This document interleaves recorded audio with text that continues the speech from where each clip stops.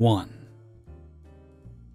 So to start, if y'all don't know, when you see someone working a kiosk in a store or mall, they don't, in most cases, work for that store. Usually, they're hired by a marketing company that is hired by the store specifically to sell whatever it is. In my case, credit cards for a hardware store. I won't say the name because I like being employed, but I live in Canada, and that should give you all the info you need there. This is done because usually this involves a pretty particular knowledge of a product, as well as the ability to sell and meet quotas and stuff. So the long and short is, I don't work for Canadian Hardware Store. Now, I help people as long as it does not get in the way of my work. If they need to know where something is, I'll tell them, or look it up, freely available public app. The unfortunate side of this is that because it's COVID times, there's usually a lack of staff, and if you answer one person's question, it attracts like four other people with questions. One day I was working a later shift than usual, and I was doing my thing, and someone asked for directions for an item. I knew where it was off the top of my head, so I answered. Meanwhile, an older gentleman that looked a bit run down was glaring at me. Now, I paid no mind because I have a resting bitch face myself, so I don't pay attention to foul looks alone. He, however, wasn't saying anything, so I launched into my sales pitch for the card, and then he started walking away, so I trailed off and stopped. When I stopped, he stopped walking, spun on his heel, and looked at me. The following conversation went as follows What? Oh, I'm sorry. I was giving you my sales pitch, but you started walking away, so I stopped. I need you to do your job and get this ratcheting hammer out of the case. I'm sorry, I don't work for a Canadian hardware store. I don't have the keys. If you find someone in a red shirt, You work for them. I actually just work for the credit card place. I'm not part of their team. Give me your manager. I'd have to call her personal phone, as this is Canadian hardware store's business and not card company related. I will not be doing that. I'm sorry. You salesmen are so fucking annoying. Some of you will stalk me across the store every time I come in, ask me twice, and won't leave me alone. I have not left my kiosk because I am lazy and don't like wandering. I'm sorry to hear that. They shouldn't, our handbook and training says not to be aggressive and pushy. Though I have seen some people be like that in my off time. I know how annoying it can be. This gent clearly doesn't know what he's angry about and clearly wants to fight. You should be ashamed of yourself. I blink slowly, not sure how to respond. You're a panhandler. You're begging for money and taking advantage of poor people. I'm on welfare because this was supposed to be a full time job and they've only been giving me one six hour shift a week. You're worse than the bums on the street. Go fucking beg outside. I really don't know how to respond to this clearly alcoholic, poorly dressed single dude. I need you to get the tool out and then take me to your manager. Now. As I said before, I don't work here. And if you find someone in a red shirt, Nobody fucking works here. Nobody works. Nobody works. Where are the staff? I don't know. They're probably just busy. There are red staff call buttons everywhere around the store. If you press it, someone will come. I will find your manager and I will make sure that all of you vultures never work in any of these stores again. Obviously, nothing happened. Nobody said anything. Nobody talked to me about it. The staff never said anything, and my managers never said anything. And it is because I don't fucking work for this store and don't have the damn keys, jack off. like, I understand not knowing originally, and I get why you might think that I would work there. But you would think that the different outfit and dedicated kiosk, the lanyard, and the fact that I told you thrice would point out that I don't work here. 2. Background and context. I'm a 65 year old white male with a full white beard and a well earned beer gut. At the time of this story, just after Thanksgiving, I was shopping at a fairly nice mall anchoring department store.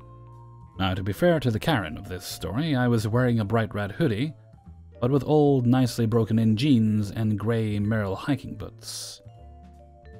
Absolutely nothing like the business casual attire of the store employees, also nowhere near a full Santa suit. I know, I've got one. Okay, the story. I'm browsing the kids' clothing, trying to find something cute for one of my granddaughters. She likes shirt dresses, long shorts, and unicorns. I had a couple of her size t shirts with the mythical beasties pictured on them in my cart, and was seeking for shorts to go with them, when I hear the call of the wild Karen. Excuse me? At a fairly high volume from somewhere behind me. Naturally, I ignored it, although I said a quick prayer for whatever luckless individual it was actually directed at. Silly me. Next thing to break my shopping focus was a painfully forceful three fingered, I know, because I felt three claws, blow to my shoulder, hard enough to make me take an extra half step for balance. No mean feat since I'm 6 feet 250 ish pounds. My fight or flight reflex opted for fight boding ill for the poker since I am a mildly PTSD veteran. With a 44 Bulldog revolver on my hip, yes, I have a permit, and no, this store does not forbid legally carried weapons. I whip around to face my assailant, stepping back to open up space. My right hand instinctively going for my holster, more to ensure no one is grabbing for my pistol than any thought to pull it. My left hand coming up with my fist clenched. Apparently, this started a squawk from Karen, a 30 to 40 year old woman with an elementary age looking child in tow. She takes a half step back and I relax a bit. We eye each other for a half second or so in silence. I recover first. What is wrong with you? Why did you hit me? I bellowed. She's very contrite, mumbles an apology, and flees. Just kidding. With typical Karen logic, she screeches, I did no such thing, and if you weren't ignoring customers, I wouldn't have had to. I don't. now you take me to your village or whatever. My niece wants her picture with you. What? I actually said that. I think my brain locked for a second trying to make sense of this nonsensical topic shift. You know, where you take pictures of kids. Lady, I'm not a photographer. Total confusion. Now, I mean, I'm thinking, did I have a stroke? Or is she having one? Of course not. The kids sit on you and get their picture taken. What kind of Santa are you? My brain gears, finally, meshing, remembering the color of my sweatshirt. Ma'am, I'm not Santa. I'm a shopper just like you. Thinking, except I'm not crazy.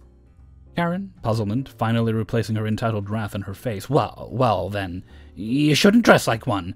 You're just a, a tease. I shake my head. So I shouldn't wear jeans? At that, I start to hear laughter, the kind of suppressed snort that gets away from someone who can't keep glee inside anymore. I turn and see a couple of employees and a few customers I hadn't noticed before with various expressions, ranging from mouth covered snickering to red faced, cheek puffed grins. So does Karen, who stalks away without another word. Hardly my best comeback, but at least it pleased the peanut gallery. I simply bowed and went back to shopping. 3. I work at a secondhand store. We offer folks a discount based on how often they show up. They can even sell things to us for some spending money. I have dealt with this customer before. He was generally pleasant in my first encounter with him. Yet I know of horror stories from my girlfriend and the rest of the staff. He comes up to the register after having sold some things to us, also has things to purchase. So, how would I go about finishing out this frequent shopper card today? He holds up a card with two spots missing to get a discount on his whole purchase. Now, this normally isn't an issue to help folk along if they're really chill with us or are spending a lot of money as is. Well, sir, it's usually one stamp per customer per visit, but we can see what we might be able to do here. At this point, he doesn't have me scan his payout slip. He gives me two books to scan, and kinda has a grin on his face. So it's usually just one stamp per visit? What if I do it in multiple transactions? Well, sir, as I said, it's typically one stamp per visit. However, let me see how much we have here. It's a minimum of $20 for a transaction to receive a stamp. I ring up his first items, they total out at $19.06, so I notify them that we have not yet cleared that threshold. Alright, sir, we're not quite there yet. Would you like me to scan one of these other things to get us to where we need to be on the first transaction? Well, hold on. What do you mean? Sir, this total is 94 cents short of receiving a stamp. If we were to add in one of these others, I could give you a stamp, and then I can give you your final stamp to apply the discount for the next transaction. He proceeds to produce a $1 bill and plays it with his first two things. Alright, that should get us to $20. This is where things start to really take a turn for the bizarre. Well, sir, I would still need to scan something else to get us over the threshold, and would need a source of payment to pay for the rest of the total. He still insists on the $1 bill as being what gets him over the $20. I explain that he isn't buying a $1 bill from me, and that I still need to know how he's going to finish the transaction. We go on like this for almost two minutes until I decide it may be best to just call our manager up. The manager is always amazing at what he does, and therefore, I knew I could at least get out from under this mess and growing line. Thankfully, I was the second of two cashiers in that moment. This is the moment where, as soon as I get the manager to the register, he decides to switch his approach. So he requests that I void out his other two items and do his payout. Easy, that gets done. Then we get back to the 1906 dilemma. The manager gives me the okay to stamp the card for his transaction, to which he pays for with his credit card. He places three more items onto the counter for his second transaction, which all total over $20. Alright, so what about a second stamp? The manager says, sorry sir, it's one stamp per customer per visit so I wouldn't be able to get this finished out and apply the discount today. I can give you a second card, but I won't be able to finish that one. He proceeds to pay for his second transaction with his credit card, and produces a third stack of four items, that total $42, and likewise paid with his card. The manager ended up giving him a coupon to also use on a later visit as a peace offering for any confusion. He thanks us both for our patience, and I get to escape from the register for a while. My girlfriend thinks he might have been playing dumb to get one over on us. However, this guy always comes across as that kind of dude that wants you to do things his way. Even the way he sells stuff, we can never seek him out. He always tells us to let him browse and he'll come find us when he's ready. The way I describe him there makes him sound like some mastermind. But really, he comes across as out of touch. So yeah, that's that. Never going to forget him trying to give me a $1 bill, like that was going to magically equal $20 on his purchase total, and not getting the huge discount he might have got. Had we done things so I was desperately trying to explain to him. 4. I work at a pretty well known toy store in the US where you're known for building your own bears. For those who don't know, how it works is you pick out the empty bear, or cat, bunny, whatever we have, and bring it over to the stuffer, where we'll stuff it up just how you like, and add whatever you want inside. We also have displays of each furry friend, so you'll know what they look like before you stuff them, though it's no big surprise. I had just started my shift. Literally, the first people I talked to was a family of three, entitled Mother, Dad, and Kid. Kid was picking up all the displays and tossing them around, it was annoying, especially since both parents did nothing to quell their kid, who had to have been around 10 but was special needs and could only speak short sentences and acted much younger. As annoying as it was, it happens. Lots of kids come in and play with the displays, not entirely understanding the concept of building their own toy. After a bit of the kid playing, I decided to start to put a few of the displays she wasn't playing with away. I started to pick up a bear at the same time as the kid, but she quickly let go and I put it away. I heard the entitled mother mutter, rude, under her breath, but thought nothing of it. For a short while longer, she made a few more comments like rude and annoying again, before deciding to confront me. Entitled Mother said she saw what I did, and how could I steal a bear from her child? I apologized if that's what I did, but I didn't see it that way, I said I'll be more careful to make sure a mix up doesn't happen again. But that doesn't seem to quell her. As the kid is still messing up all the displays, the mother goes to talk to my GM. I look over to see them talking and kinda get nervous, I ignore it, and keep interacting with the kid and dad who has now made himself known. Kid was looking through the sounds and came across a Space Jam sound. I actually had a nice conversation with the dad about both Space Jam movies. When the entitled mother came back over, the kid had grabbed a frog and was about to bring it over to me before the mother grabbed her arm, and dragged her back to the display while saying, Keep playing with the toys. It annoyed me, and soon Manager 1 came over. When the kid brought over a Bowser, Manager 1 said she'll stuff it, and told me to go do some other task. I went to talk to my manager, who hushed me and said we'll talk later. I didn't hear much of what happened afterwards, but apparently the entitled mother was talking shit about me. At the register, she started to throw on some sob story. GM was gonna give her a discount just to quell her anger, but apparently she called me a fucking bitch, which stopped her from doing so. All this time she was complaining at the registers. I was actually playing with the kid, getting kisses from Bowser and roaring together. When EM was done paying, she again dragged the kid away from me, saying, Stay away from that toy stealer. After that comment, I decided to be extra petty and say, Have a great day, as they were leaving. EM actually decided to turn around and give me the middle finger. I turned to all three of my managers who were staring wide eyed. Manager 2 said to GM, Did you see that? I began to cry, and all my managers swarmed me, saying it wasn't my fault she was just looking for a discount, etc. I quickly stopped crying and went from upset to laughing at how ridiculous the situation is. It also proves just how amazing my managers are. Even though they didn't outright confront EM because she was only making rude comments behind my back and not harassing outright. My GM actually went out of her way to call both the district manager and Mall Guest Services, whom she was on hold for nearly an hour with, to make sure if this lady makes a complaint, it gets thrown right out.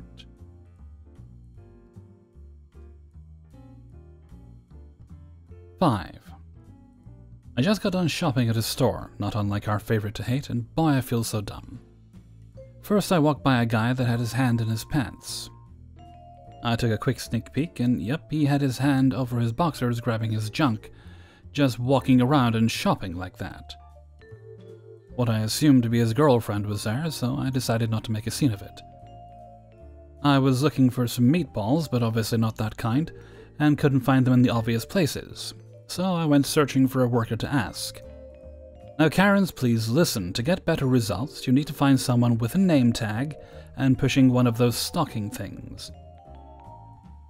So I find a guy and asked him politely, and he says, Oh, I know where that is. Just let me return this and I will help you. Sure, I replied, so I waited. He came back with the other guy, and he showed us where the meatballs are. Right in front of me. I feel so dumb. In the checkout line, I realized I forgot something. So while the clerk was scanning the rest, I ran back on and got it. I felt so bad making people wait, so I apologized when I got back. They were cool with it. If you were waiting to hear about the guy grabbing his junk, I'm sorry I didn't see him. Hopefully, because security took care of him and people wonder why I have anxiety when I go shopping. Hey everybody, Hellfreezer here, and thank you very much for listening to Adventures in Fast Food and Retail, episode 152. And thank you very much to everybody who allowed me to use their stories and sent in stories for use in the stories. Then there were some stories over there, and I think there was some behind the sofa. I don't know how they got there. Um, there was, there was, there were some other stories that were juggling stories. And there was a giant story that tried to crush New York. I think it was visiting from Tokyo. Anyway, thank you very much to everyone who allowed me to use their stories and sent in stories for use in this video. If you yourself have stories you'd like to send in, you can send them along to storiesofthestories at stories.com. No, that's not right. Send them along to King of the Stories, that's not right either. Send them along to kingofthecities at gmail.com. That's kingofthecities at gmail.com. All right, what day is this today? It is Thursday, I believe. Yes, it is. The day of this Thursday. Okay. Uh, right, now, question of the day. It's a tough one today. It's um, I'm almost I'm almost loath to ask it because it's a bit controversial. It's about bread. And what your favorite kind is. Now, me, I'm partial to both well fired rolls, aka burnt, some less fancy people might call them, well fired and tiger bread, which is basically it's, it's a bloomer type loaf. And if you if you can, eh, preferably you preferably you'll get the ones where you, you can slice it yourself. Uh, annoyingly, some supermarkets will pre-slice them, which is not good because they're always too thin. Uh, although my local does do a sliced tiger, tiger bread and sourdough, which is sort of decent, but it's still better to get the whole one so you can slice it yourself. So, what is your favorite kind of bread? I mean, in the past couple of years, I think a lot of people have gotten a lot of bread type experience with all those sourdough starters. Okay, and with that, I'm going to head off for now. So, until next time, thank you very much for listening, and take very good care of yourself.